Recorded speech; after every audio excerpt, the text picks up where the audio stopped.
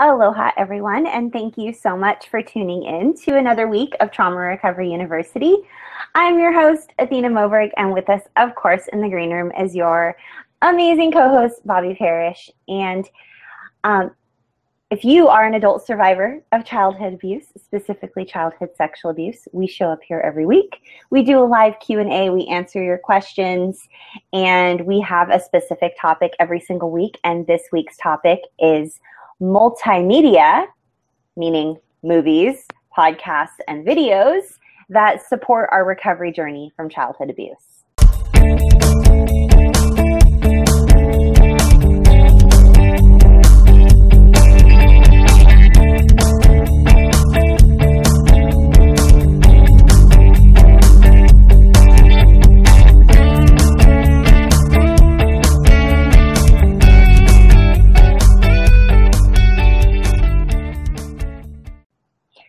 So last week, um, if you joined us um, every Monday, 6 p.m. Pacific, 9 p.m. Eastern, right here on Roku TV and YouTube, as well um, as Twitter. This is a live interactive Q&A broadcast with um, all of your questions being tweeted in from Twitter, and then Bobby and myself answer your questions. And um, soon we'll be having, um, you know, welcoming questions from Facebook, and we'll just it, it, it's it's very multimedia, which is kind of neat because this week's topic is multimedia. We have people that message us, they email us, they they DM us on Twitter, they send us private Facebook messages, they message us on our Facebook walls, um, all different types of media, email, um, asking us questions about their recovery journey uh, that they're on right now from being abused as children and here they are adults and they're trying to recover. So that is sort of in a nutshell what it is that we're doing. I'm athena moberg. This is bobby parrish. We're trauma recovery coaches and we're survivors we both are adult survivors of childhood sexual abuse we have our YouTube channel and our Roku TV channel with over 100 hours of video to support you in your recovery journey. And that is why we show up every single week. You are the reason why we show up every single week. We are so excited that you've joined us for this discussion tonight. Head on over to Twitter if you're tuning in live. And if you're not live, then you can, if you're here on a replay, you can go down in the description section of this video at the very bottom before comments and you can click on the number and it'll just go ahead and fast forward you to our weekly one page downloadable resource which is sort of a blog post of sorts and it's a one page compact version of everything that we discuss here on the video and it's free just for you for being a loyal listener viewer subscriber just an awesome survivor on your recovery journey toward wholeness after being abused as a child. So that's just a thank you. If you are tuning in on a podcast and you are not on our YouTube channel or our Roku TV channel or over on our website, which is traumarecoveryuniversity.com or nomoreshameproject.com, then we invite you to go to one of those places. This is a video broadcast. While you may be listening to just an audio version of this, um, if it feels a little disjointed because you're not seeing us or you would like to tune in and join us live, then please join our lively, awesome, wonderful, supportive recovery community, um, survivor community, and just come say hello. Let us know where you found us, and we will gladly welcome you in. We are so happy that you're here. And again, just as a thank you, we want to give you free access to our downloadable one page resource. Go ahead and download tonight's resource as well as any of them. Um, we have almost 100 of them, I believe, or maybe over 100 at this point. And you can get complimentary access just by going to one of our websites, nomoreshameproject.com or traumarecoveryuniversity.com. Click on the tab that says downloadables, and you'll be given immediate access to the whole library of downloadable resources that you can use on several or a hundred different topics to help you in your recovery journey from child abuse. So um, thank you so much for being here. I'm going to go ahead and hand this over to my amazing partner, Bobby Parrish, and I will go ahead and take over the Twitter feed for you, Miss Bobby, while you um, take care of our public service announcements. Take it away, Bobby. Okay. Hi, everybody. It's always so wonderful to see you here Monday evening.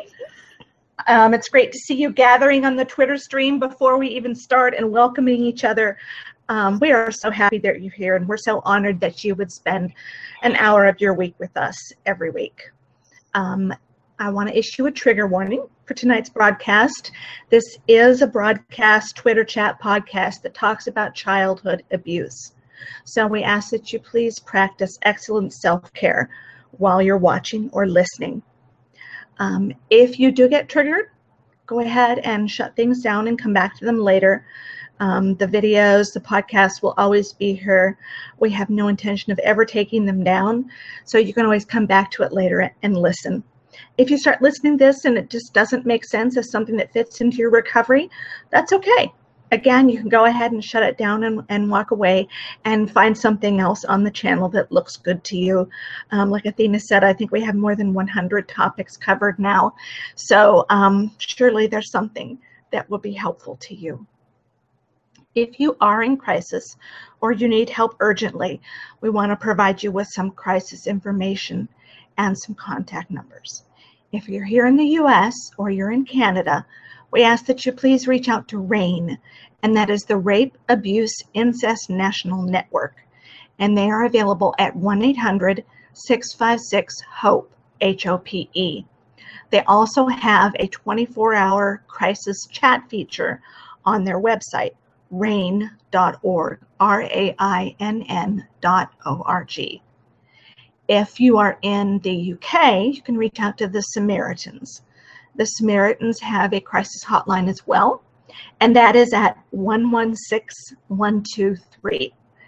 They can also be reached via email, and you should email Joe, J O, at samaritans.org. You can also text the Samaritans, and the number to text is 0775 909090.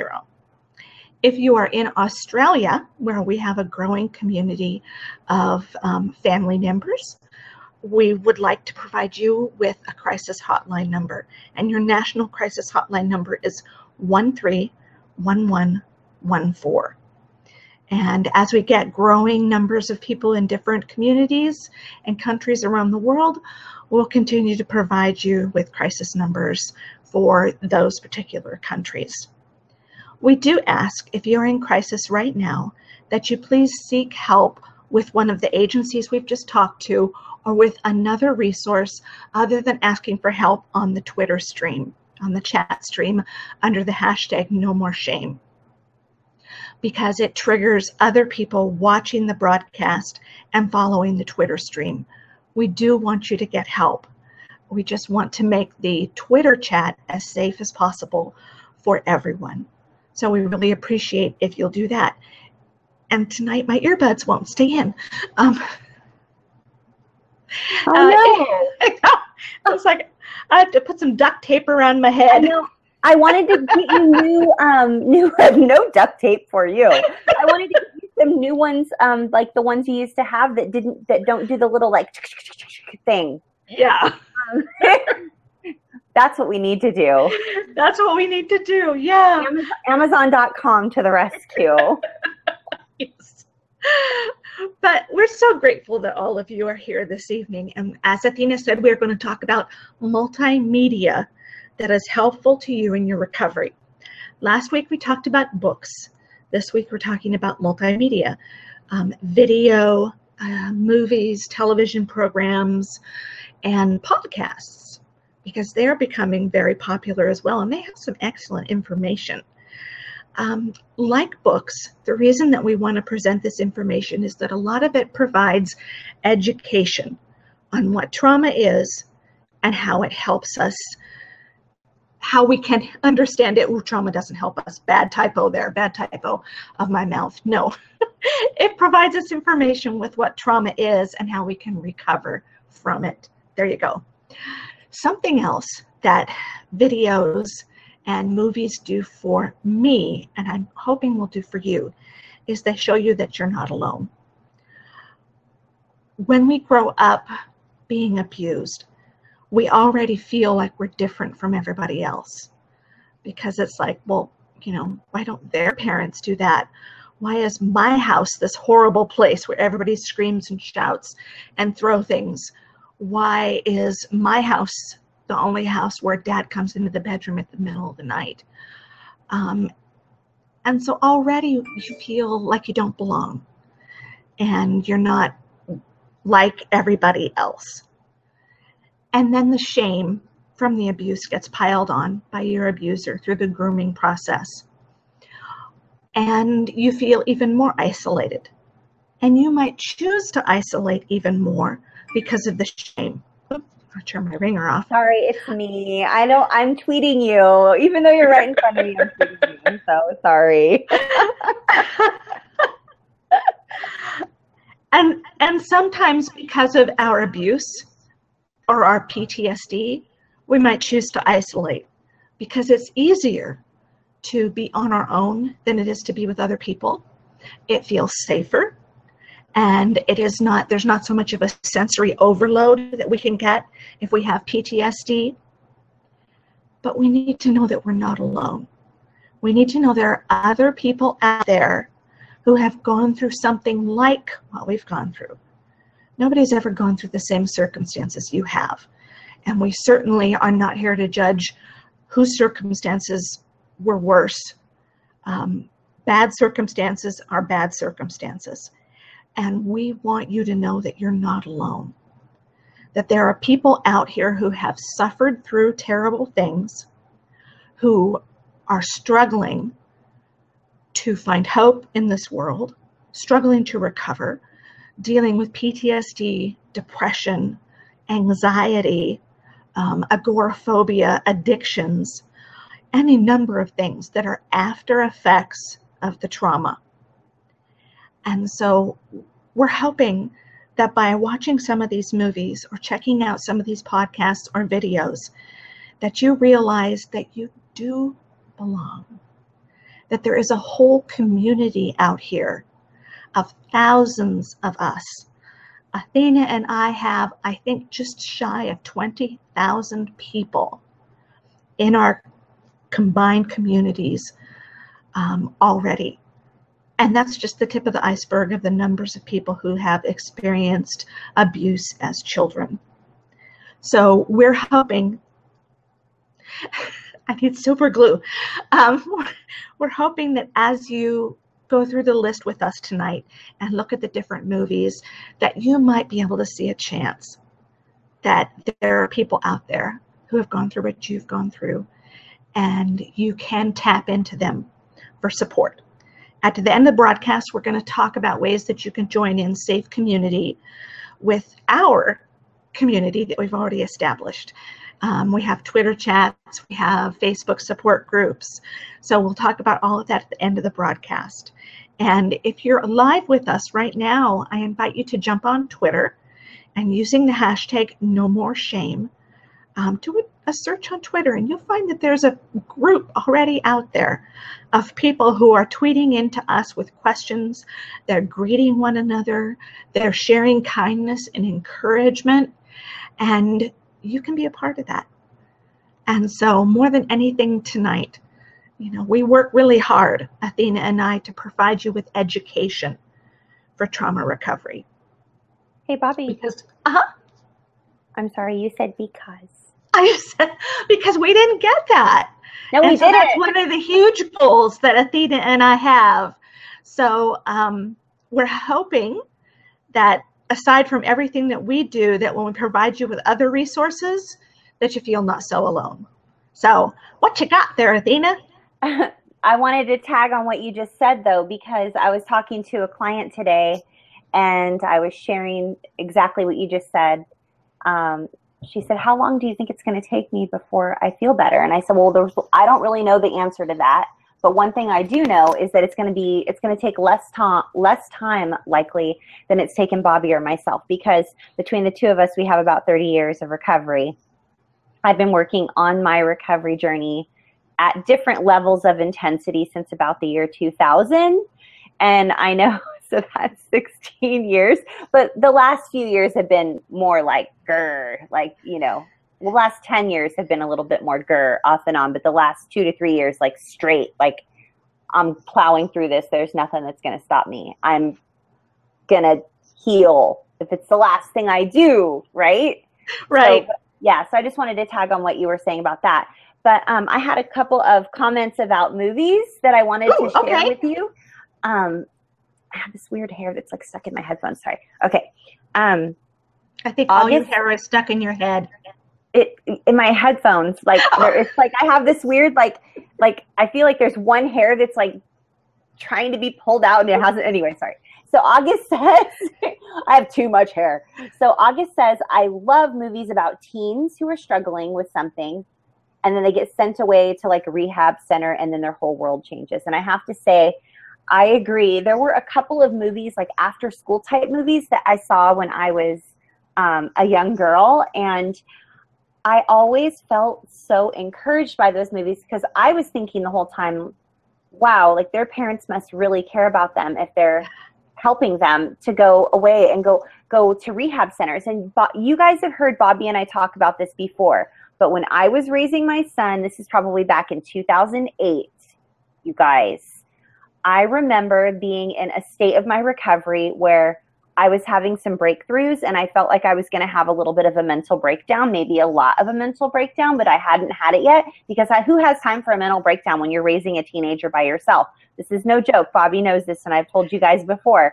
I called the number in the back of a book of the Love is a Choice book by Minirth and Meier, which is on our list from last week. Um, we have uh, Maggie and Jack are working really hard behind the scenes helping to compile a list of books and then we have um, other resources or whatever and we're going to be getting an, an ebook put out there as a fundraiser for our conference coming up. So that's being compiled. But anyway Minirth and Meier love is a choice. There's a number in the back of the book and it's a, a trauma center.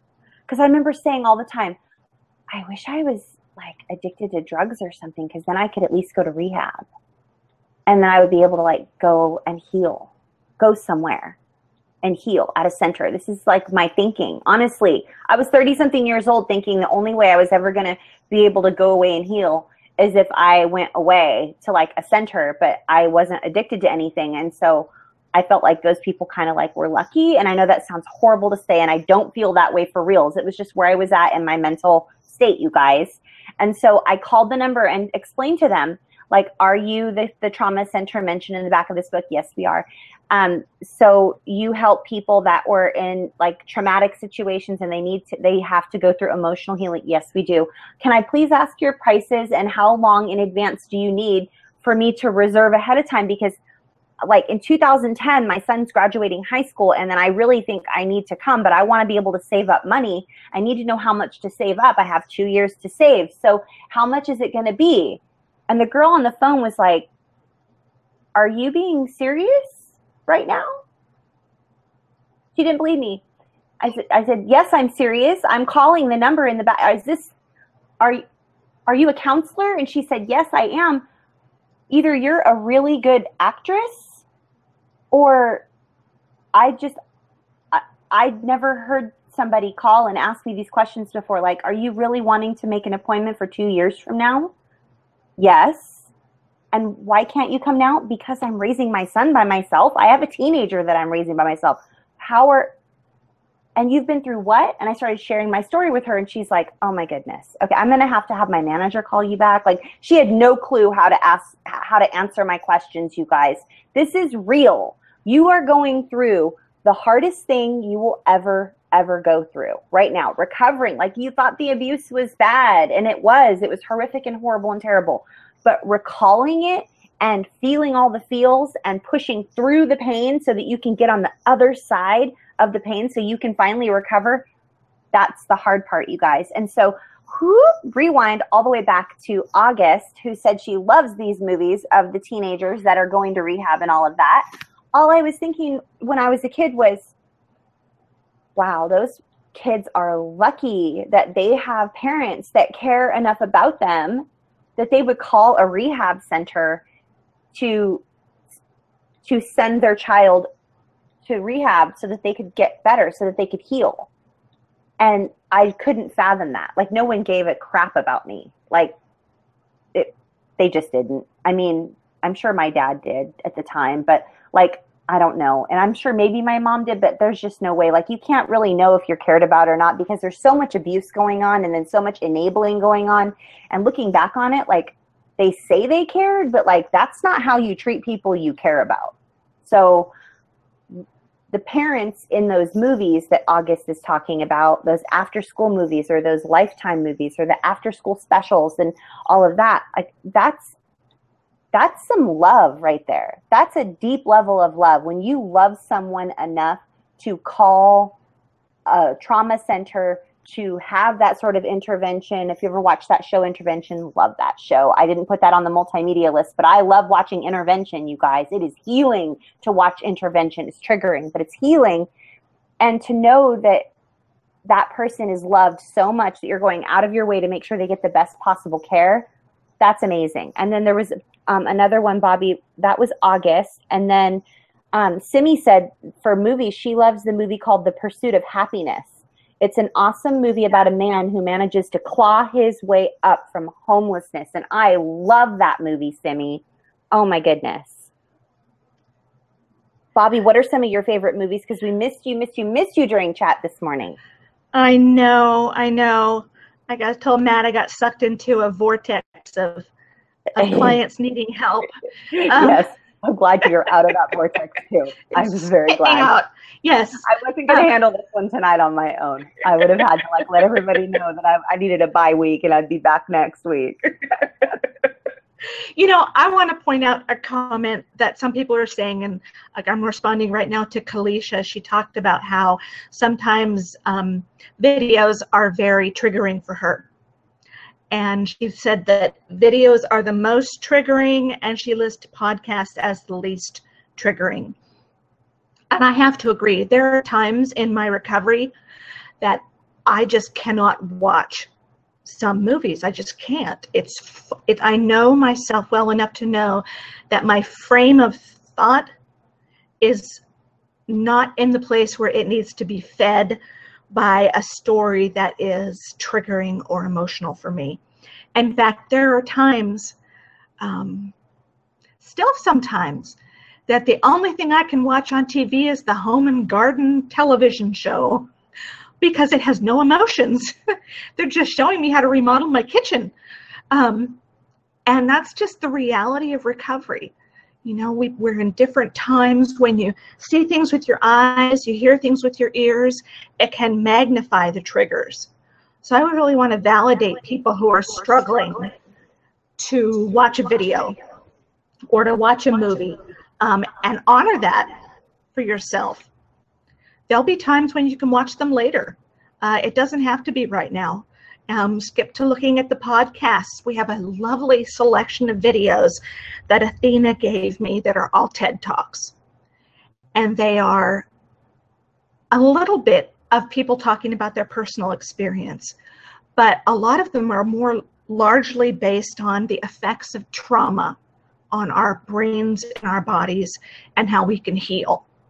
Um, those I can pretty much always do, but if it's something like the color purple, um, that movie will set my tailspin to tailing really quick because of what she goes through, um, the abuse that she goes through in the beginning of the movie. Um, so I really want to validate people who say that videos and movies can be triggering. Yes. So take care of yourself. Don't watch them when you're not in a good place. And when you're in a good place, and you don't want to think about things like that, it's okay not to watch them then too. Um, this is your recovery. You know what's best for you. We trust that. And Athena and I will always be one to stand up and say, you, you know what you need. Sometimes we take a little bit to recognize what we need and to trust ourselves that that's we know the hardest part. I think that's the hardest part for so many survivors, you guys, is um, yes. what Bobby just said. Learning, I think I think across the board, every single one of my clients, almost every single one of my clients, asks me, when am I going to be able to trust myself? I, I just don't trust myself. And my answer is the same almost every time. And Bobby will probably echo this answer. You will learn to trust yourself as you learn because the way you trust yourself is through your intuition. Your intuition has been damaged. The way you heal, the reason your intuition is damaged is because of gaslighting and grooming. What, the way you heal your intuition is through congruence. The way you become congruent with yourself is through healthy boundaries. The way you establish and maintain healthy boundaries is by learning what boundaries are, putting them into play, and guarding them. So it is a multifaceted thing, just like how we tell you it's never wave a wand, one and done in recovery. It's often many, many, many, many steps towards progress and towards recovery and towards success. But the way you learn to trust yourself, which is one of the hardest parts of recovery. Learning to trust yourself is hard. I feel like I'm going to sneeze, you guys. If I do, I'm so sorry because it's going to be really loud. Um, so cover your ears. I'm sorry. I mean, don't cover your ears. I'll let you know. I think. Oh no. Okay but yeah, the way you heal your intuition, the way you learn to trust yourself is by trusting your intuition. The way you heal your intuition, which has been damaged, is through congruence. The way you become congruent is through making healthy choices. The way you make healthy choices and healthy relationships is through having healthy boundaries. How do you have healthy boundaries? You learn what they are, you put them into play, and you guard them. I hope you wrote that down. I said it all twice, but that is, it's multifaceted. But you guys, boundaries, boundaries, boundaries. It start that's how you reverse engineer your goal. Your goal is to trust yourself and to feel better. How do you learn to trust yourself and feel better? And it's exactly what I just said. Through trusting your intuition, which was ruined and, and damaged through your grooming and through your gaslighting that happened in your family of origin or from your abuser when you were a child. Um, it's different if you are watching this channel because you were abused only in adulthood and there's no child abuse involved. It's totally different. Um, learning to trust yourself as an adult who was abused as an adult who was not abused as a child is way easier. It's a shorter process. But when you are healing years and years and years and years and decades of compound damage that's been done because you've not been able to trust yourself or trust your intuition for for 10 20 30 40 years it, you have to you have to almost relearn everything. You have to relearn life skills specifically life skills surrounding healthy relationships and what does a toxic relationship look like and what does a healthy relationship look like and how do we choose healthy relationships over toxic relationships. Bobby your comments on that? Simi was saying we need to put America's Test Kitchen along with HGTV on the list of channels to watch that have no emotion. yes, or I, the one I like that has that that is easy for me to watch that that is right along lines with HGTV and and the Test Kitchen uh-huh. is the one where they um they uh the realtors. There's three different realtors. Oh yes. Million Dollar Homes New York or something like yes, that. Yes, that one where they they all like and they're going up against one another and they're like trying to sell these people's homes and they're like going to lose the client and then they have to find the buyer and then they're having these open houses and and like it's just and it's a little bit of drama but it's so low on the drama scale compared to what you're dealing with as a survivor that you're like you get totally sucked in and you're like it felt really good to be a realtor in New York selling million dollar homes for 30 minutes. Like, thanks a lot. Thank you. Thank you for that healing, for that healing recovery 30 minutes that you gave me that I didn't have to deal with real life. and people people are talking about um, Inside Out, that new that's um, Pixar I think Pixar movies, newest movie, one, and it talks about emotional intelligence. I it's all not, about. I have not seen that one yet, but I am looking. One. What is it called? Inside Out. We need to add that mm-hmm. to the list. I, it's I, animated. I love animated though. I think animated like helps us heal our inner child a little bit, and a lot of like inner inner child work is a touchy subject. Not everybody believes in it. But you guys, inner child work is real if you're an adult survivor of child abuse, especially childhood sexual abuse. There's a new movie, Bobby, a new Pixar movie as well um, called Finding Dory. Oh, yeah. I'm so excited because I loved Finding Nemo. Is it Finding Dory? I think it's Finding Dory. I think so. I'm yeah. sure. Anyway, I love Ellen DeGeneres so much. Like, love her. And of course she's the voice of Dory, and she's it's just it is a cartoon, so you can bring your kids, but a hundred percent of the humor and the inside jokes are all for you, parents, all for you, not for your kids. Kind of like Toy Story. That was something big that came out. I think like one of the one of the biggest, coolest things that happened when when I was raising my son is that I got to go take him to Toy Story, and I felt like it was more for me than it was for him because the humor was very like all inside jokes that only I would get, but it wasn't inappropriate for him to hear. You know?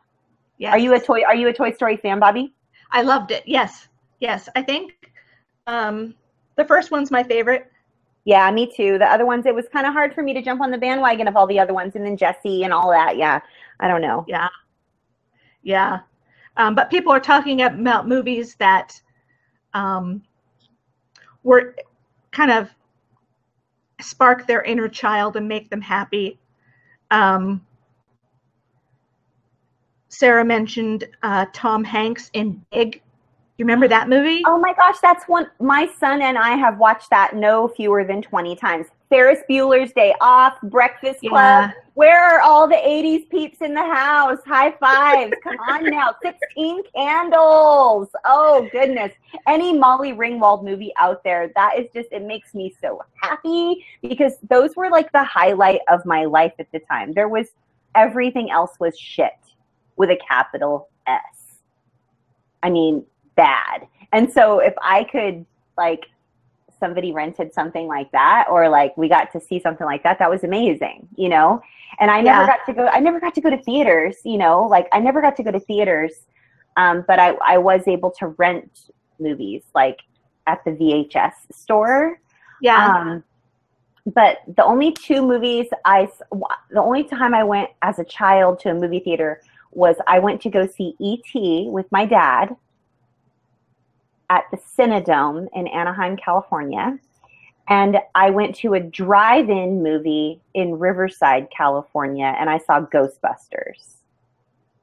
That was a very horrible situation. There was like drunk teenagers and alcohol and all kinds of crazy stuff. And I was tagging along with my older step sibling. And yeah, it was not a good situation. But so those are the only two movies I remember seeing like at like the actual, whatever you call it, like theater. Theater, yeah one um like one was an indoor theater, one was a drive-in theater. But, yes. Um, but I do remember the VHS, like having the VHS. Remember Beta? Remember those little Beta movies?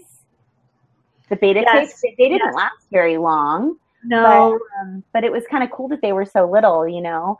Um, but yeah, you guys, any 80s movies. My son loves those 80s movies. He watched all of them with me. The the um, Ferris Bueller's Day Off, Breakfast Club, 16 Candles. Um, I'm forgetting one of them. There's more. Um, oh, Nora says Uncle Buck with John Candy. Oh, I loved Uncle Buck. See, you guys, these are movies that that um, while they might not be focused on your recovery, they minister to your soul. Like we need movies that minister to our soul, that help us. Sometimes you just need that little bit of like, like um, not an escape necessarily, but kind of an escape. Like I'm not talking yeah. about like avoid reality forever, but you guys, there's nothing wrong with avoiding reality for two hours. There's just you nothing wrong with it. I call that distraction. Yeah. Sometimes if you're spinning in a million different directions and your head just wants to go down a nasty rabbit hole so mm-hmm. badly of depression and PTSD, one of the few options you might have left is distraction. And I, I am all for distraction if it prevents your mind from going someplace you don't want to have to chase it. So if you're going to pop in a movie and watch a movie for two hours that makes you laugh and transports you someplace good, go for it. If you're going to pop in three movies and they're going to take you someplace good, as long as you're not like, you know, leaving dinner to burn in the oven and the house is burning down or your children don't get p- picked up from school. Um, but hey, I'm all for distraction. Sometimes it's the best, the best strategy. So I, Um, Bruce Willis, The Kid, is a good movie, and it was almost explaining the inner the inner child. And I have to say that one of my clients was unable to access her inner child until she saw this movie, and everything clicked for her. Like we had been working together for I don't even know how long we were working together at the time, but she had literally been unable to access her inner child and she was frustrated about this whole topic of like inner child work and like the, the thought of having some sort of wounded inner child that made no sense to her and then she saw this movie the kid and everything that we had discussed just swirled into being and she was like oh my gosh i finally get it she had the biggest light bulb moment ever all because of this movie so thank you for recommending that um, sarah um, I'm 15 minutes behind on the Twitter stream, guys. So I'm so, so, so sorry. Um, I did mention something this morning, Bobby, during chat. Ooh, uh-huh. Maggie says, My go to distraction movies are The Devil Wears Prada, Mean Girls, and The Yellow Submarine. Three excellent choices, Maggie. Oh my goodness. Oh, Nora. Nora says stand up comedian Brian Regan. He, he is so good. He's a clean comedian, but like Nora, if you're watching, um, how about the time where where he's like driving the car and then and someone gives him the pinky and he's like, or they're on the phone on their phone while they're driving and and they and they let him go ahead of him and he gives him the pinky and he talks about the pinky. I mean, it's just little tiny stuff that happens. Like this guy Brian Regan, you guys Google him. He's hilarious and I believe he has YouTube videos. He's so so so so good. Um, I told somebody something. Um, I told somebody I w- it was Janet. It was Janet this morning, Bobby. Oh, did I lose you? Uh-uh, I'm here. Oh, good. Okay, I thought I, I was like, no, this cannot happen tonight. no. um, so this morning I was talking with um with with um Jeanette, and I was um telling. I was also talking with Brenda. I have a colleague who is a psychiatrist, and he um, occasionally, I mean, all helping professionals have this happen at one point or another if they're in practice long enough. But one of his patients committed suicide. And he was so distraught over it, but he had to keep it together because he was at work. Like he just, he had to like keep it together somehow because he didn't work, he didn't have a private practice. Like he worked for like um, a group of psychiatrists and he's actually the boyfriend of one of, of one of my dear friends. Anyway, long story short, he says that the way he deals, because my husband asked him, How do you deal when stuff like that happens? He said, My go to, my go to thing to how I deal with trauma in my work or or grieving a loss of a patient or a client when something happens, whether they pass away by suicide or they end up passing away or something happens and and I and I somehow am shaming myself for feeling responsible because it happens to everybody. He said, I find a movie. I have a few go-tos, but I find a movie that I know will access help me access all my feelings, all the feels, feel all the feels, feel angry, feel sad, cry, laugh, uh, whatever you do, allow yourself to feel all the feels. Otherwise, you'll stay stuck. You'll show up at work every day terrified that you're going to screw up everybody's life if you're a helping professional and you happen to be watching this video. So, um, so Jeanette said, "Does that really work?" and I told her, "Yeah, like for me, it does at least. I have a few go-to movies. If I know that I'm stuffing, because I was telling, um, we mentioned this several times before, Bobby.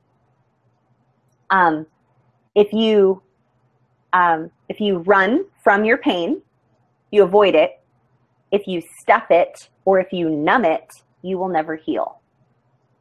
You just won't heal. You will stay stuck. Wherever you're at right now, if you don't feel your feels, if you don't go through the pain, feel the fear, feel the pain, go through it anyway, if you numb it, avoid it, or stuff it, you won't heal. So you got to feel all the feels, even grief, even just bawling your eyes out for days at a time sometimes. Like you have to feel your feels, otherwise you won't, you will stay stuck. So yes, it really does work, you guys. It really does work. if you find a movie that always makes you cry and you just know it's going to make you cry, it's just a movie that makes you cry for whatever reason. You don't know what it is, or maybe you do know what it is, but it makes you cry.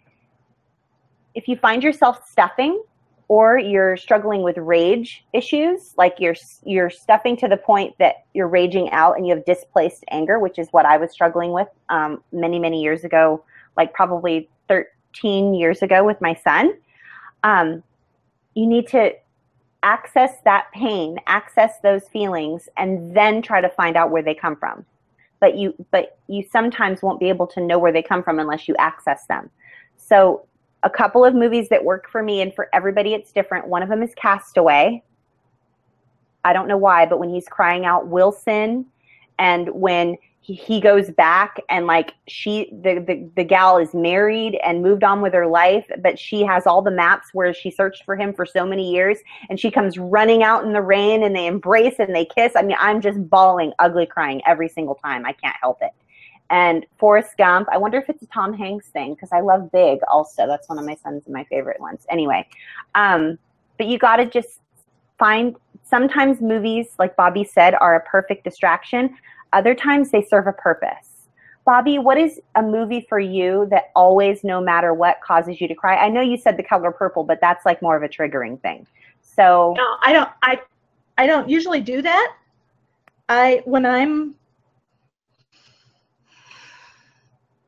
I'm okay with just crying. but what if you can't I'm access with, it? What if you can't access your tears? I I can do music like that.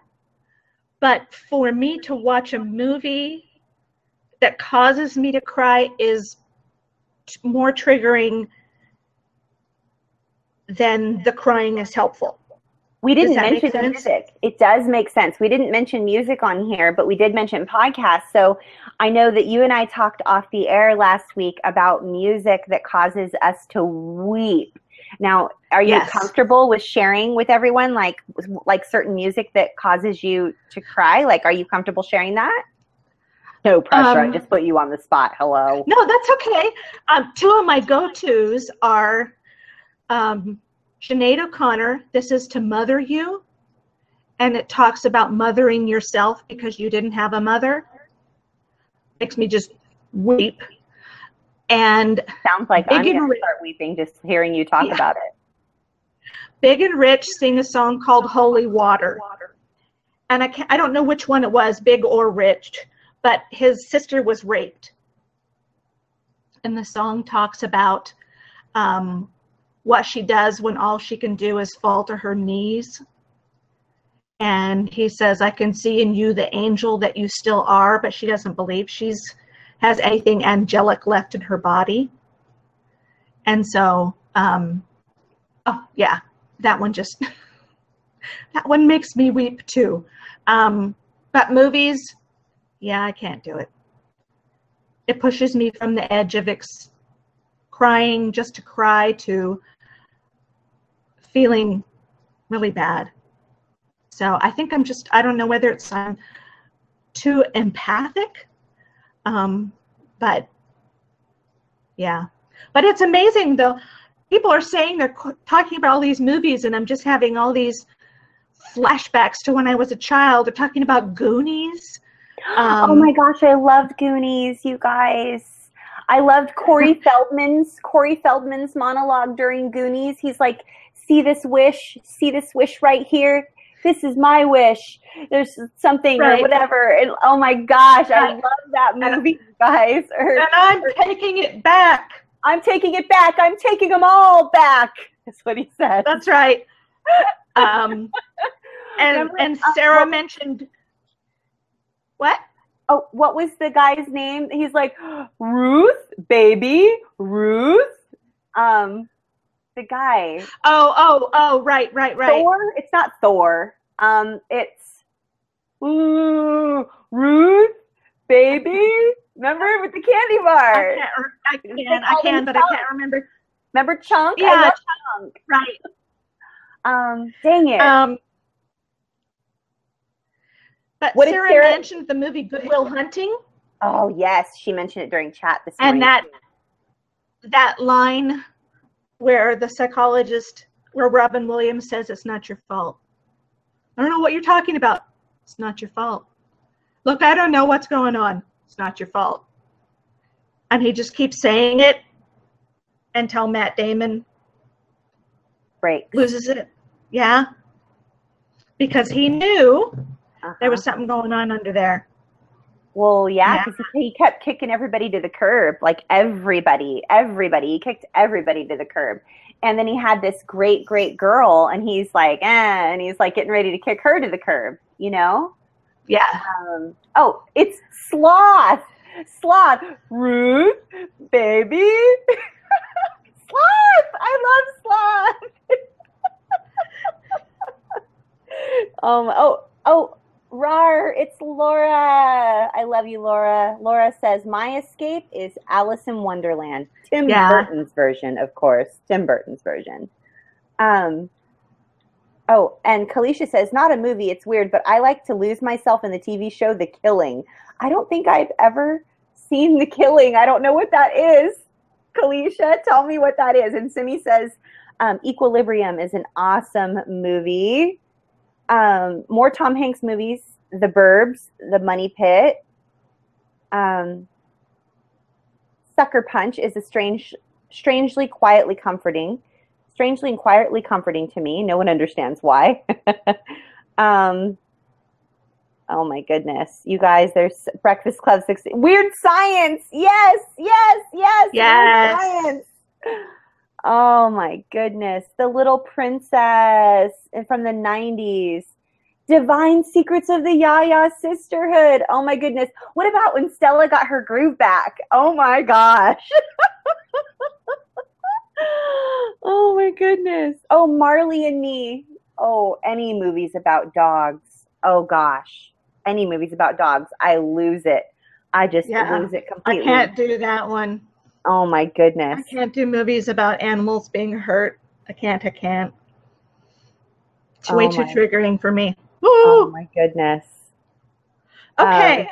Okay, sorry guys, but this was this has been very healing. Or you could tune into Trauma Recovery University's episode on multimedia for an awesome escape from reality for just one hour. oh my goodness. Oh gosh, you guys. Thank you for the Oh, Steel Magnolias and Rocky. Yes, we talked about all the Rocky movies because they just give you that will to keep on fighting and they're just Yes. inspiring. Like the most recent, you guys, the most recent Rocky movie um, titled Creed is so good. Michael J. Jordan, and I forget his co-host, his co-star's name, but she was amazing. She looks like, um, she looks like um, Lenny Kravitz's daughter. It might be her. I can't remember. But anyway, yeah. Anyway, Creed. Creed is a really good movie. It's on Netflix right now. Um, Kelly Clarkson, Since You've Been Gone. Oh my gosh, that's a that's a good one. Oh, oh, you guys, Kelly Clarkson did a, a song. This one gets me. One of my clients told me about this. Um, because of you. Um, yeah, because of you, Kelly Clarkson. It's about her narcissistic mother. Ding, Wow. Ding, ding, ding, ding, ding, ding, ding, ding, ding, ding, ding. Because of you, I'll never walk um, walk um, near the edge of the sidewalk. Because of you, I'll never, you know, like live my life. Basically, I'll always live in fear, and um, because they want us to believe they're protecting us. Oh, hi, Lindy. Lindy's here. You're not late, sweetie. You are right on time.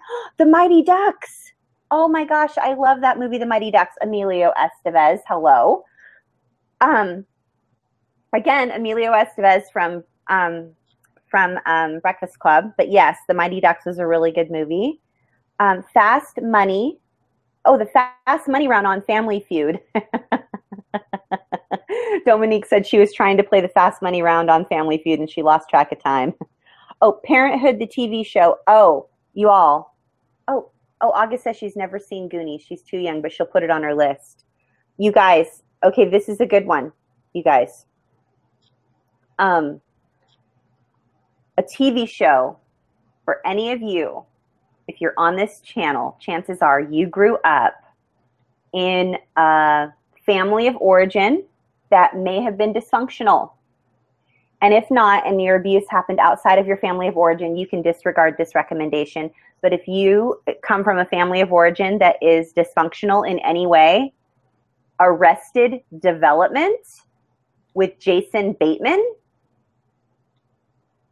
binge watch every season, and I'll see you in two weeks because you will die. It is such real life hilariousness my son owns like every episode. He thought it was all made up and all make believe. And, and it was just like he had discovered this awesome hidden thing that didn't make any sense to anybody. And that it was just this like cult classic, whatever. Like he, yeah, but it's real. It's like our family.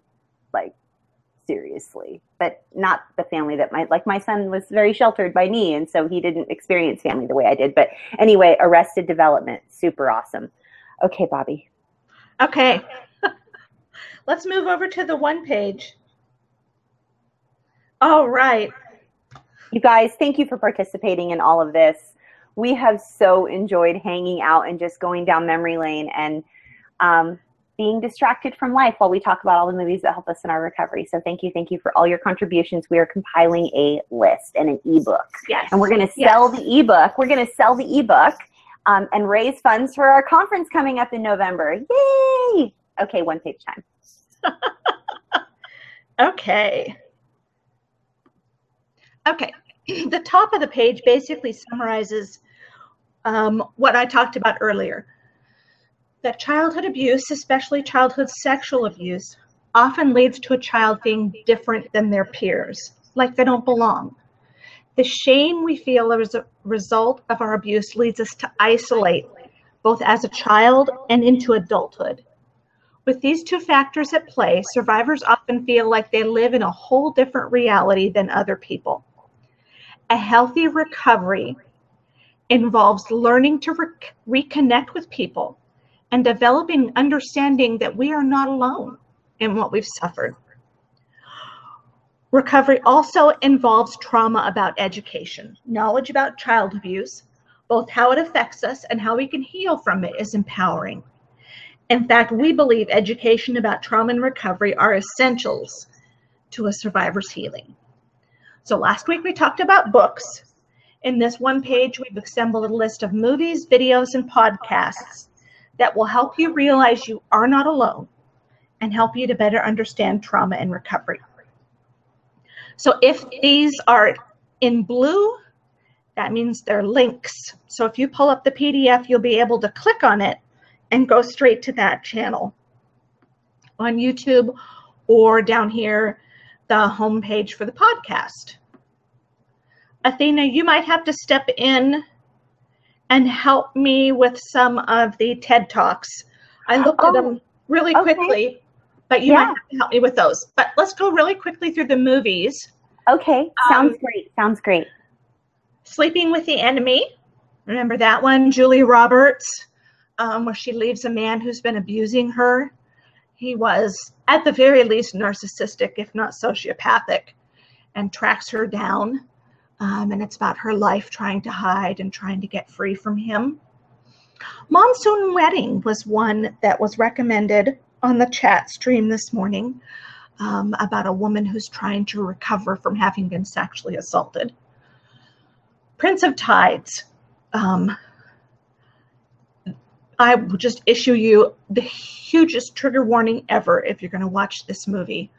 Um, but it is about a woman who has had a suicide, she has attempted suicide, and she's in um, a psychiatric ward. And her brother, Nick Nolte, comes in and meets with a psychiatrist who's played by Barbra Streisand. And they talk through the brother and sister's childhood. And both of them were horrifically abused as children and Barbra Streisand helps both the sister and the brother to do some recovery work and build a life that they enjoy living. Excellent movie. Um, I like that it reflects the trauma therapy part of the experience, but it is a very, very hard one to watch, and there are some graphic scenes. Um, Gaslight. This is an old one. As they say, an oldie but a goodie, because it is like the embodiment of the term gaslight. It is about a woman whose husband slowly drives her mad by trying to convince her that the things that she sees and hears are not real. And um, it goes back to that original term, you know, back when the lights in their house were lit by gas and not electricity. And she would see the light flicker and say, Did you see that? See what? I didn't see anything. I, don't know what you're talking about. Um, it's really good. Um, Chosen, an anti trafficking documentary. I don't know anything about that other than it was um, shown this morning, talked about this morning in chat. Precious, Umai. there's another one that needs a big old trigger warning, but so good um, about a young girl who was horribly abused as a child and is trying to find herself and her identity. Um, I think that um, didn't Gabby, the, the woman who starred in this, didn't she win an Oscar for this, Athena? Do you remember? For Chosen or for Precious? Oh, yeah. I think she might have. I, Yeah. I, um, maybe I could get Jack to Google it because he loves to research and he's like always on that stuff. I'm pretty Um, sure she did, but I'm not. Gabby, um, I'm trying to think of her last name, but I, I actually either she was nominated or she won. Yeah, I know she was nominated, but I can't remember whether she won. Um, okay, The Color Purple, Oprah Winfrey. Oh my goodness. Um, um, um, Whoopi Goldberg. Um, Oprah Winfrey's character is a victim of incest as a child, has several children by her abuser. Very good movie but very hard movie. Another big trigger warning for that one. The Accused with Jodie Foster. Jodie Foster is sexually assaulted by a group of men and then is treated horribly by the justice system as she basically has her entire character and life put on trial as she um, accuses these men of the crime that they committed. Okay. Let's talk about the videos. Um, Athena, you know Smackintosh. Do do they call it that? Um, that's the name of their of the channel, Smackintosh. Um, that's the name of the YouTube channel, and um, it is a YouTube channel that is uh, regarding healing from narcissistic abuse, and it is very, very, very informative. There are tons of videos on all different topics. It's a husband and wife team, and they even delve in to like scripture and how God even has healthy boundaries against narcissists. I mean, like it's it's layers and layers and layers and layers of reasons why you need to choose to be healthy and separate yourself from people who are soul sucking, manipulative, and destroying and cannibalistic. I mean, talk about a validating YouTube channel, you guys. Smackintosh. Very validating if you have lived through any type of manipulative, um, sociopathic, psychopathic, narcissistic, malignant personality disordered situation, Smackintosh. You will be so validated and feel so built up. And, and it's not YouTube videos the way Bobby and I look at you and talk to you with our faces. These are all screen shares with words on them and pictures on them with a voiceover. And so it's, which is a lot less triggering. Bobby and I looking at you and talking with you face to face can be more triggering, especially if you're trying to multitask. But for some reason, if someone's face isn't on the screen and you can just read the words and listen to their voice, it's almost therapeutic in a way. So if you want to feel validated, go check out their YouTube channel because it's amazing. Okay. I just wondered if that was a play on their names or something. Smackintosh, because it makes me want to, you know, evict Yeah. that smack. Maybe I honestly don't. I never even I never even asked like if there is like a reason behind their name or whatever. Like I never Okay. looked into it that way. But but it's just an excellent channel, and I agree with you. Okay, the next one we've talked about him before, and, and we we just love Richard Grannon's work, um, the Spartan Life Coach on YouTube. If you click through that link, you'll go right to his homepage on YouTube. Just excellent, excellent, excellent material, straightforward, blunt. Um, he does not beat around the bush. He is fiercely on the side of all victims. And he talks about narcissistic abuse. He talks about complex post traumatic stress disorder. He talks about all the things having to do with trauma recovery. And he has your back. He does not pussyfoot around at all. And you can see his dog in the videos too. Max, Max. yes. Maxie, Maxie. Um, these next one, two, three, I think next eight or so are all TED Talks. And the first one is Eleanor Longden, The Voices in My Head. She is um, Oh, I love this schizophrenic. Is that right? Yes, she's schizophrenic, and she talks about the first day she the, the she is so eloquently spoken and so just she's brilliant. She's beyond brilliant. This this TED talk will validate anyone out there living with any type of mental illness. You don't have to be living with schizophrenia or dissociative identity disorder or anything like that or to even have had hallucinations of any kind to appreciate the art that is this TED Talk. She's she's just phenomenal. This this woman, I, I highly recommend that TED Talk. It's amazing. Um, and then the next one, I'm not familiar with at all. Sasha Joseph Neulinger. Yes. Okay. So Sasha is a guy. You guys. Sasha is a guy who um, has made a full. He has directed a full length film, a documentary called that uh, rewind fast forward to rewind or rewind fast rewind fast forward rewind oh gosh now i'm now i'm feeling terrible that i don't remember the exact name of his film. Anyway he was um, he was sexually abused as a child by an uncle and a cousin i believe or an uncle and an uncle and a sibling perhaps an uncle and a brother. And he goes back and watches hundreds of hours of home videos and watches his abusers the way they interact with him on home video. And yet he also rem- and he's he's actually testified against his abusers. Um, he had he did this TEDx talk in Bozeman, Montana, and he talks about how trauma itself cannot be undone, but the choice is ours on how it is that we choose to deal with the trauma that we've been through. Are we going to take an I active love that. Yes. Oh my gosh, it's so empowering. Take your power back, survivors. You deserve it. Um, he talks about how, as survivors, we have a choice. We can choose to to play an active role in our recovery, or we can choose to sit back and let life happen to us.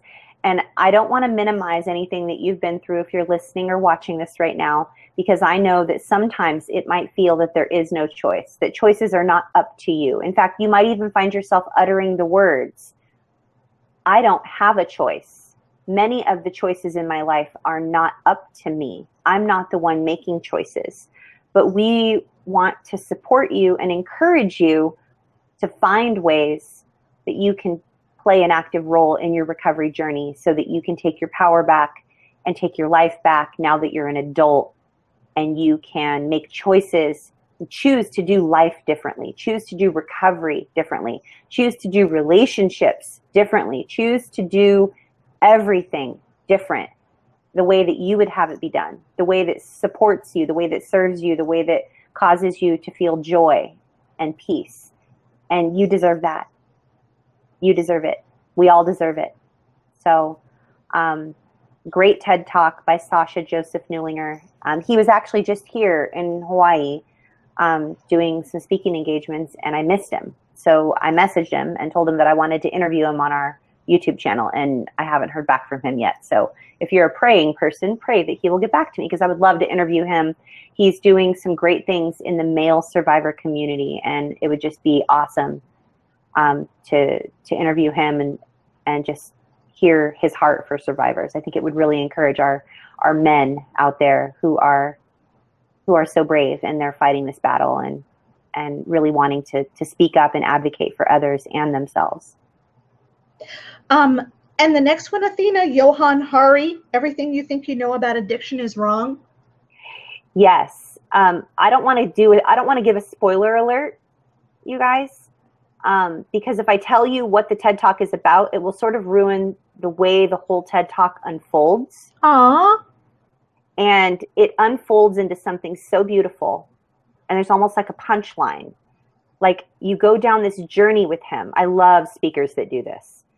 Like they lead you down this path of where you're literally sucked into the story they're telling and you can you can feel everything that the, the speaker is feeling. And you're we all we all have our own assumptions as to why people um, numb their pain. And we all have our own opinions about um, whether or not addiction is a disease that's passed down um, through our DNA or whether it's a choice or, or whatever. We all have our our there there are presuppositions and there are predisposed sort of like like we have our own mind made up um, in a lot of ways, right? But he approaches this talk in a way that is so beautiful and he he's brilliant and the way that he describes the the experiments, the science experiments, and everything else, and and the way it plays out um, in the real world versus this science experiment.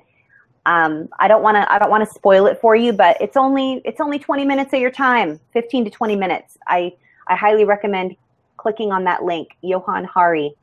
Everything you know about addiction is wrong, um, and it really validates everything that Bobby and I have been talking about for two straight years um, every moment we have breath in our lungs and for the last year and a half almost two years on this youtube channel. So um, yeah it's just it's extremely validating you guys. And and you guys all know that there is more of a, we've mentioned this before and i'll say it again. There's more of a connection to drug and alcohol addiction. There's more of a connection to childhood sexual abuse. Addiction and childhood sexual abuse have more of a connection than mm-hmm than anything else. Yep, than anybody so, ever gives credit. Yeah. Um, Leslie Morgan Steiner, Why Domestic Violence Victims Don't Leave. This is the last one on the list that I'm not familiar with, Athena. Awesome. Okay. So, um, again, I don't want to spoil this one, but there is, in fact, there was another, oh, you know what? There was Jake something. I, I sent it to you and it's not on here. It's not on the list. Um, oh. How um, how domestic violence and like abuse isn't isn't a woman's issue. It's a man issue. Okay. Uh-oh. I missed um, it. Dang it. Okay. Well, we'll add it later. Yeah, these ones are they're in tandem with one another.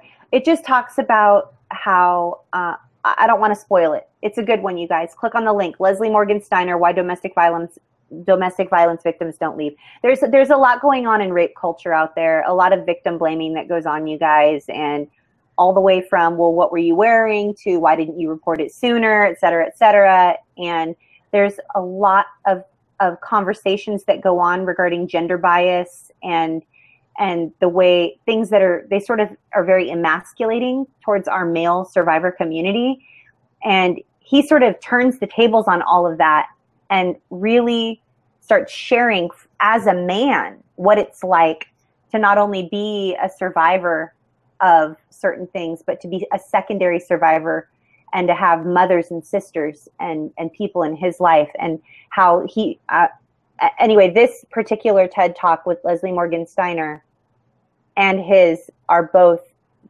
I mean, they're not just about domestic violence. So, yes, I don't want to spoil it though. I can't say anything without spoiling it. Sorry. Okay. The next one, Nadine Burke Harris, How Childhood Trauma Affects Health Across a Lifetime.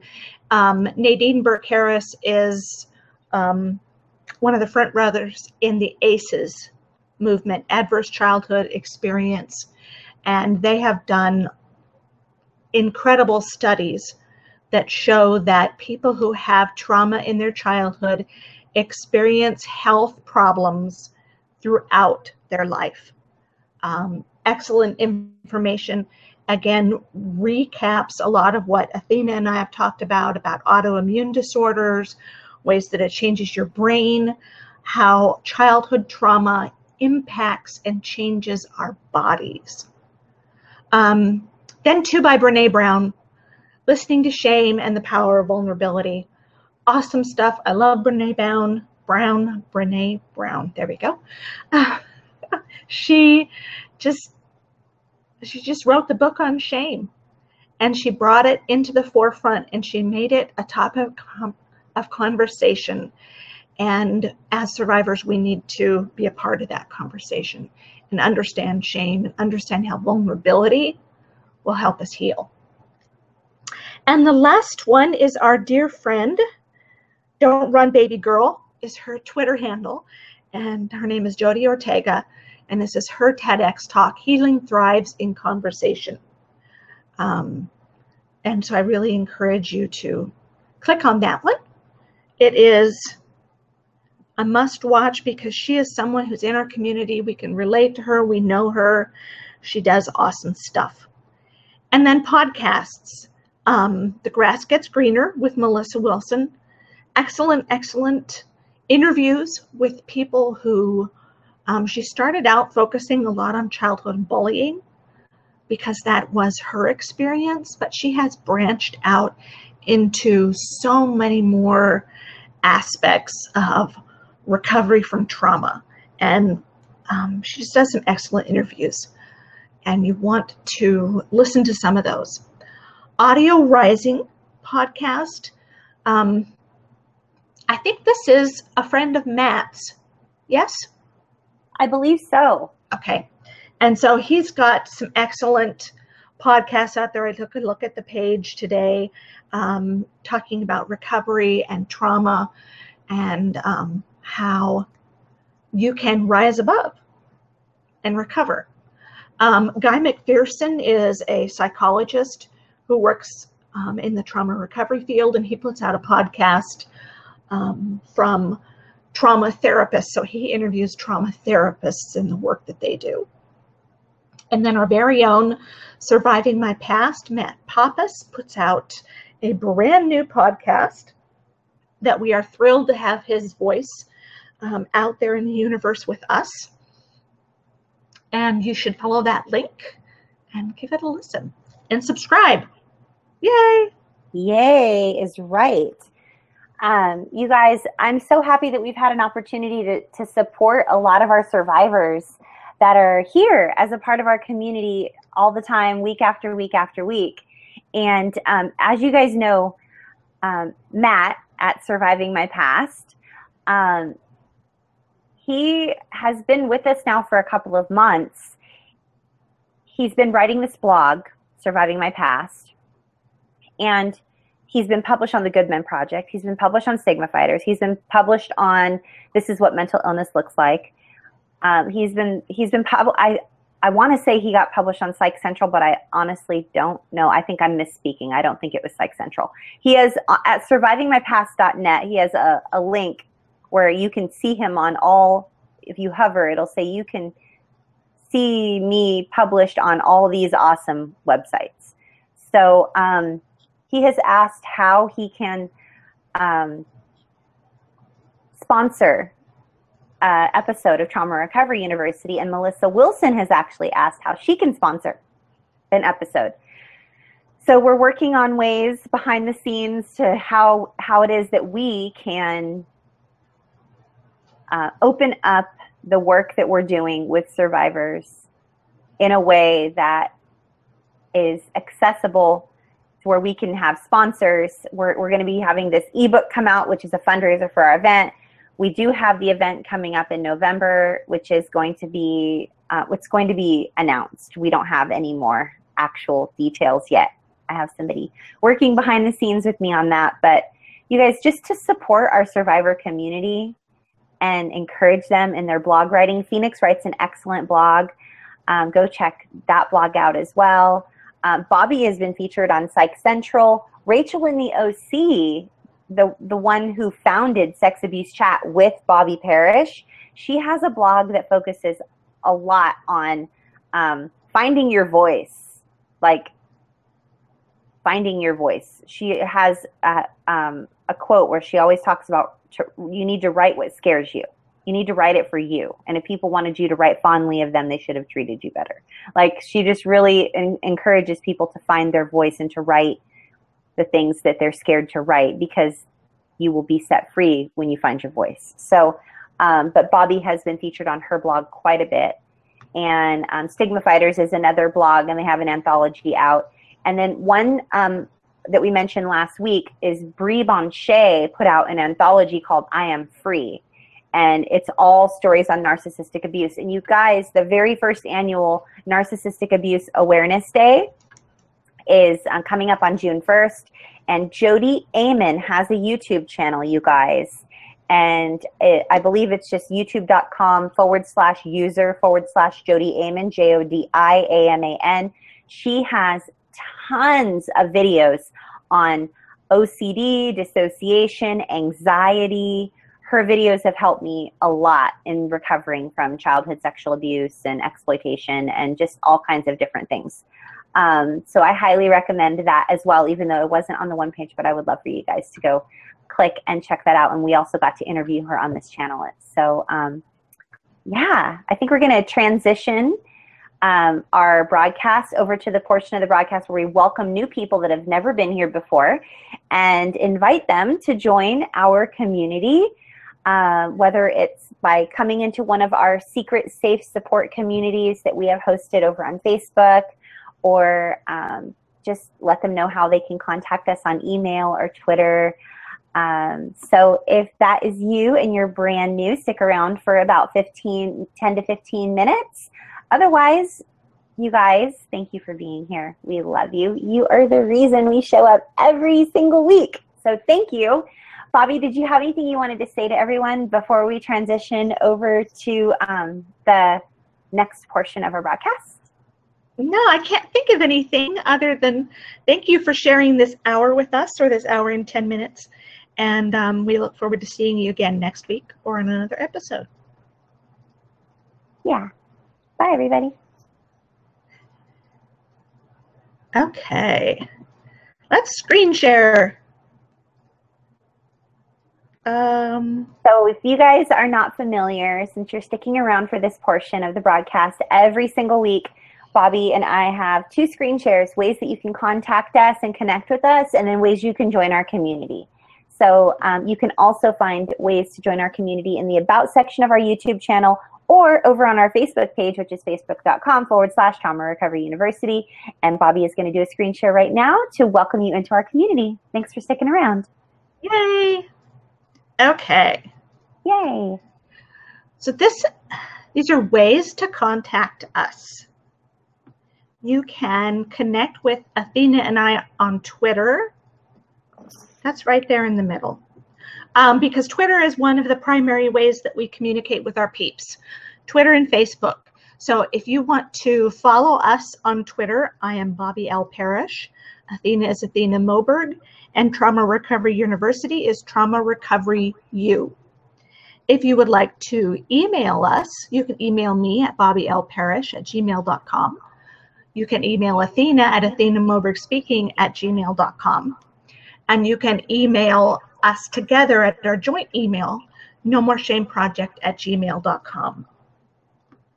You can see, if you look over here on the right hand side, um, you can see all of our replays, our videos on YouTube, on Roku TV, and on Google Plus.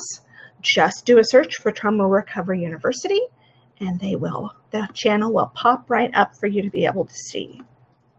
I'm gonna make this bigger and go here. If you'd like to connect with us on Facebook, and this is gonna be important when I talk about it on the next slide, you can find Trauma Recovery University. There's our professional page.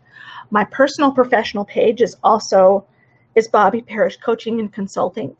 And then my tongue tripping over myself tonight. My personal page is Bobby Parrish. Professional page is Bobby Parrish Coaching and Consulting. Athena's professional page is Athena Moberg Speaking. And her personal page is Dawn Athena Moberg. So as we remember about the Facebook, we'll go over here to our last screen share that talks about how you can join us in our Twitter chats and Facebook groups. Our Facebook groups have really started booming lately. Yeah. So um, we'll talk for a minute about how you can, in a minute, on how you can get plugged into those. But first, let's talk about the Twitter chats. We have three each week. The first one is Monday, and that's at 10 a.m. Pacific time, 6 p.m. in the UK. And the hashtag is CSAQT, which stands for Child Sexual Abuse Question Time. And then the second one is what you're watching or listening to right now if you're here live. The hashtag is No More Shame. The time is at 6 p.m. Pacific, 9 o'clock Eastern, and 2 o'clock Tuesday mornings if you're in the UK. And then the original chat that started everything off is Tuesday evening. The hashtag is Sex Abuse Chat. It's at 6 p.m. Pacific, 9 o'clock Eastern, and that is Wednesday at 2 o'clock in the morning for those who are in the UK. Oh, I made it really big. Okay, let's talk about Facebook and how to get into our Facebook groups. This is by far the easiest way, and we ask that you use this way because, um, like I just mentioned, people were getting um, probably easily about 10 requests a week to join in the Facebook support groups. And this is the easiest way for us to get people plugged in. Um, other things like emailing, um, sending us messages on our professional pages, um, sending us a tweet, those are just hard, they're harder for us to keep track of. Um, and for some reason, Facebook is just really buggy lately. Oh, it's about so mad. Oh my gosh, it makes me mad. With, withholding messages. I got a message from this. I felt so bad. This poor woman, and she had been messaging me. This was probably the ninth time she had messaged me saying, I'd like to heal in safe community. And when I popped up, the message finally showed up and I looked at it, I could see all eight prior attempts. Like each one was like a week is back. that the one? Is that the one that I finally responded to as well today, or no? No, uh, this was another one. Different one. Facebook, what are you doing? So, um, forgive us, you guys. So, if you follow this method, it's the best, and know that we are we would never ignore you. So, if you're not getting a response to your message, chances are the messages are not getting through. Um, we ask that you like the Trauma Recovery University Facebook page. Send us friend requests and please send them to both of us because we're in two different time zones with two different schedules and we don't sometimes know um, when we can get to Facebook. So it might be one or the other of us first. Yeah, because Bobby Bobby is five hours ahead of me, so like earlier on in the day. But then there are some days that are days where I'm not even on social because I'm doing different stuff. And likewise for Bobby, like we we we we sort of go back and forth. Like some days we're on more and some days. So please, as this says, as Bobby just mentioned, always friend both of us, always message both of us after we accept your friend request so that one of us can get to you. And we love that you guys are being patient. Sometimes it takes a couple weeks to get plugged in, but we will do the best we can to to fix that process over time. After you have we have accepted your friend request, we ask that you send us a message on Facebook that says, I'd like to heal in safe community or something like that. And then we will respond to you. We'll ask you some questions if we don't already know you from Twitter or Facebook or having met you at a live event. And the reason that we do that is trying to avoid letting people into the group that are predators or who would otherwise take advantage of our group members because your safety is of paramount importance to us. So please don't be offended if we ask you some questions. Um, the purpose is to make sure that you're a good fit. And after we're assured of that, we will let you into one of the support groups and then you can take advantage of all the awesomeness that they have to offer. Yay! Yay! I did have someone um, last week get kind of upset with me for asking them questions. So um, they like they messaged me saying, "I've been trying, I've been trying to connect with you." First, it was, "I've been trying to connect with you. I give up. I give up. Forget this." And then it was like they messaged again saying like, it's been weeks. Like, what's the deal? And then I, I said, oh, it's nice to meet you. I apologize for um, the delay or whatever. You know, like Facebook does its thing, or like, you know, we have life. Like, I had a doctor's appointment last week and I've been in a fair amount of pain since Tuesday. So, like, thanks for your patience. But anyway, I, I proceeded to welcome her greet her, thank her for her patience, and communicate with her. And then I asked her the normal questions that I normally ask during our vetting process. And it popped up a little thing that said um, that it was read, like it said read at, like, you know how Facebook does that thing where it tells you if someone reads it. Um, but then, like, no response and like I had like it was like the sixth message I had received and I had not gotten them previously. So I was like and then so I messaged saying, you know, um, you know, please forgive the you know, the questions are part of our vetting process and I sort of got they sort of went off on me. Like, you know, you guys say that you're a healing community and whatever and just all this like sort of nonsense. And you guys, this is a healing community but guess what? Like, in order for people to heal in safety, which is what we do, we have to determine personally what is safe. And so we have a vetting process, and our vetting process has um, never failed us in um, two years. And we have several groups set up that are successful, awesome, amazing healing groups filled with survivors from all over the globe healing in safety away from predators. And we would love to just invite you in to join us in that. So your patience is appreciated.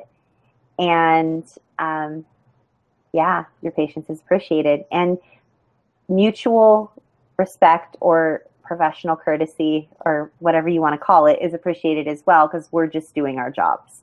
So, Bobby, did you have any um, any comments on that or similar experiences or oh yeah you know i get people who blast me for how long it takes or the fact that i didn't respond to their message when i never saw their message because facebook didn't let me see their message. Um, but you know we are doing our best. We're bringing more we're bringing volunteers on to help us with more and more things. So um, eventually it'll all get smoothed out. And until then we're doing the best we can. So. Yep. All we can do is our best. Yeah. So, as we approach the end of the month of May, yay, I'm looking at my calendar. we're almost ready to slide into summer. Yes. And in June, we're going to do some um, awesome topics like sexual orientation and gender orientation. Um, June is Pride Month for the United States. It's and also. PTSD. It's also PTSD Awareness Month. So June's going to be packed with uh, packed with um, discussions about PTSD, gender preference, sexual orientation, um, and yeah, Pride Month and PTSD Month. And this is when we were supposed to do that fundraiser. Remember when we got like back like a year or so ago, someone offered to help us um, put together a fundraiser. Anyway, we're not, uh, we haven't filed our articles of incorporation yet to become a 501c3, you guys. So just be thinking of us as we sort of transition and move into sort of a hybrid model of like part of our business is for profit and then part of our business will be nonprofit. And um, we're going to be setting up, I have someone helping me behind the scenes um, to set up a Patreon account for our YouTube channel. We're officially YouTube partners. We decided against, for those of you that have sort of been in on the whole like discussion about um, YouTube partnership and um, getting offered sort of, uh, what is that called? Um, network, YouTube network um, sponsorship. So um, we're just going to stick with being a YouTube partner and move forward in that direction. Um, we're going to be having some fundraisers. We have an event coming up in November on Veterans Day weekend. But as Bobby was just mentioning a moment ago, uh, Pride Month and PTSD Awareness Month are huge in the survivor community. In fact, I would probably be willing to bet that a high 90 percentile of the survivor community either addresses, has addressed, lives with, or has lived with something on one of the two topics or one of the four, one of the three topics. Either they've they have questions with or have addressed some sexual orientation, um, perhaps um, um, family members or or whatever have questioned their whether they are bisexual or homosexual. Um, there's also um, a lot of our survivor community, as we're going to be talking a different week about gender preference and and what that all entails, and then a lot of the survivor community deals with either PTSD or complex PTSD, which we did a video last year about that as well, or maybe it was two years ago. I can't remember, but big, big, big stuff, Bobby. These are big topics. So the month of June is already like basically planned out. Yeah. Big topics, but important. And you and I have never shied away from the important stuff, even if it's controversial. So there we will be. Yeah, we always, we're not afraid to talk about the hard stuff, you guys. We know that um, the hard topics need to be talked about, and we try to handle them with as much gentleness and reverence as possible. Uh, handle them respectfully with the with the respect they deserve.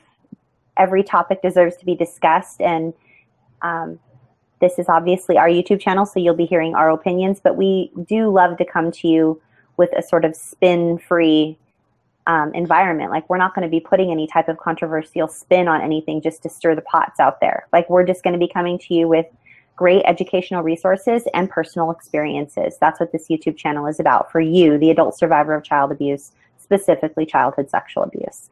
So we value you. We appreciate you as always. And we love bringing you everything you need for healthy, informed trauma recovery. Um, this is Bobby Parrish, and I'm Athena Moberg, and we can't wait to see you um, in one of our secret support groups or over on Twitter or right here next week, Monday, any Monday, 6 p.m. Pacific, 9 p.m. Eastern. See you later, everybody.